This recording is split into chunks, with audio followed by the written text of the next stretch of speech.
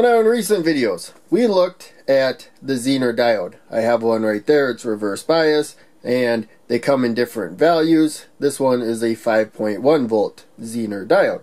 And so you can expect about 5.1 volts across it when current's flowing through it. And we showed that I was able to have a resistor and LED hold 5 volts across it for the most part. The thing is that when current changes, the current flowing through it, the voltage that it actually uh, drops is actually slightly different. So at higher currents, it's going to build up a higher voltage. At uh, lower currents, it's going to be lower than uh, 5.1 volts. And so it is a tiny bit current dependent. So if you need a steady voltage, that's what this video is going to be about. Then you want a steady current flowing through that Zener diode. Of course, if you have a load, that throws things off.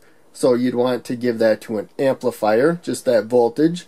But uh, that's the actual use for it. But in any case, if you want a voltage build up here, you want a certain current going through the Zener diode. And so with the LM334 current source, or any other current source for that matter, you can have a set amount of current even as the supply voltage changes. So now the uh, setup that we have here, the set resistor, which determines how much current actually flows. It puts a, a uh, voltage across there of 64 millivolts or 0.064 volts if you want to look at it that way. And uh, so this is a 10 ohm resistor and so we'll look at how much current is flowing through. There should be about 6.4 uh, milliamps of current. So there you can see 6.6 milliamps of current right there. And so if I add the Zener diode over here, so the cathode to the uh, V minus pin down there, R pin is in the middle, and then V plus is up there. The flat side is to the left. But now we got that current flowing through that uh, resistor, that Zener diode, to hold the voltage of the Zener diode. So first we can look at it with uh, the oscilloscope, the voltage across the Zener diode. We'll zoom back a little bit.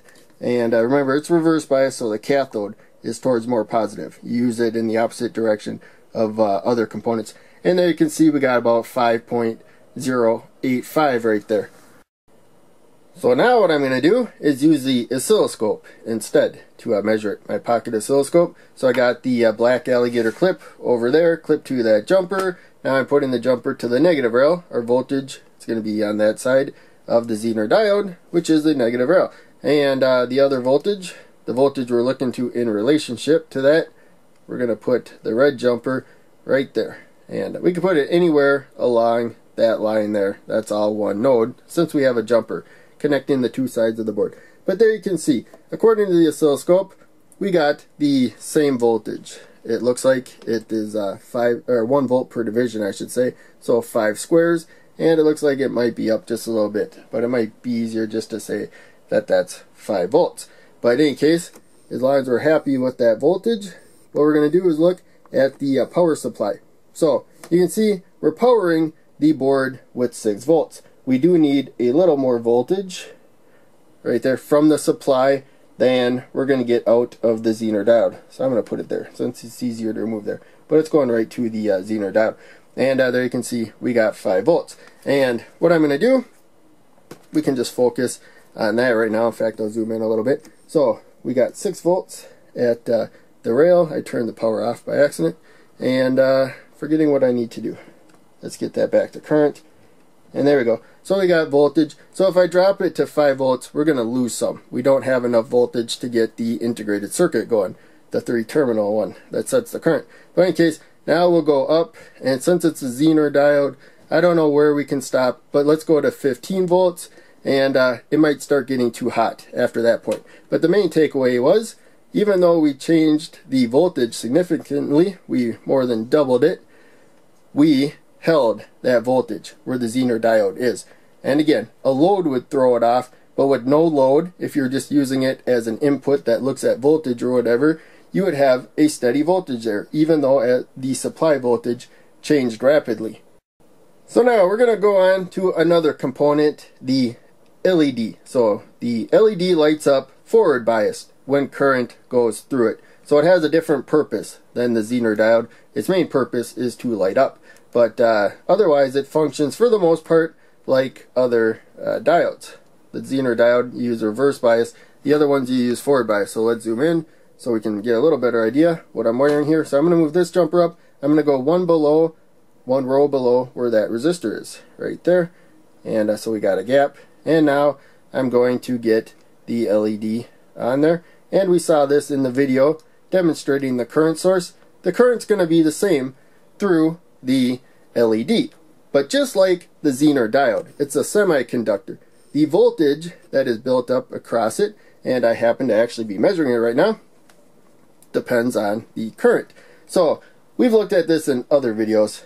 Uh, when the LED is brighter, it's uh, blocking more voltage. When it's dimmer, it's less, but it's in a range. So for the green one, it's going to be around about 2.5 when it's really, really low current, and then maybe like 3.2 or something. But for the most part, it hovers around 3 volts right there. But again, just like the Zener diode, we have the power supply here. For whatever reason, we want this amount of current through the Zener, uh, the LED I mean, even as things change. So since it's needing less voltage, there we can lower the voltage to 4 volts in this case. But at 3 volts, you can see really uh, drops it down. So we need too much voltage in this case to power the integrated circuit to provide the current. But there we go. Now you can see we got uh, 4 volts at the supply and uh, there. So now I'm going to go up to 13 a couple volts lower than we did with the uh, Zener because the Zener was blocking about uh, 2 more volts. So about 13.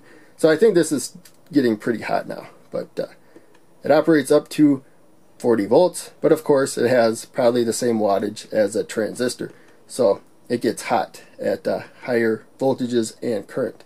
But in any case, that's the main takeaway. That did not waver at all, even as I changed the supply voltage a lot. So whether it's a Zener diode or an LED, you want a consistent brightness or something, then you really want a current source, especially if voltages are going to change.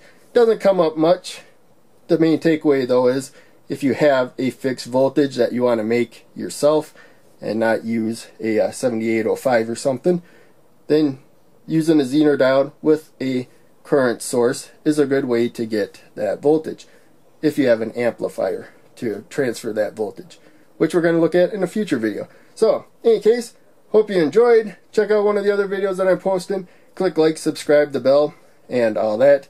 I put a link to Patreon down in the description. Uh, check that out if you can donate. That would help out a ton. I will see you in the next video.